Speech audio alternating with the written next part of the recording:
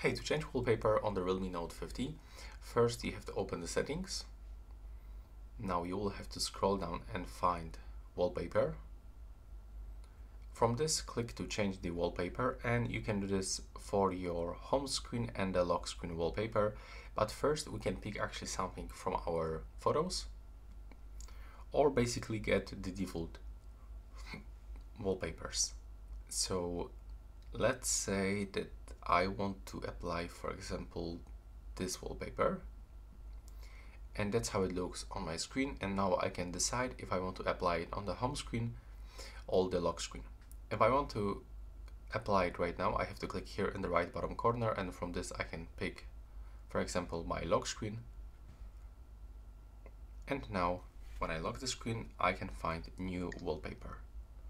And as you can see, that's all for this video. Right now, please subscribe to my channel.